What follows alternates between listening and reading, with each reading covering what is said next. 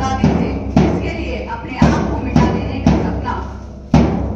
सपना ही जीवन दर्शन है, जो अपने आप को कुर्बान करता है, अपने आप को इस माटी में मिला देता है, और यही इस माटी के प्रति सच्ची श्रद्धांजलि है। और इसीलिए हमारे ऋषियों ने उद्घोष किया था कि माता भूमि पुत्र हमारी माँ है, और हम इसके सपूत हैं। इस माटी का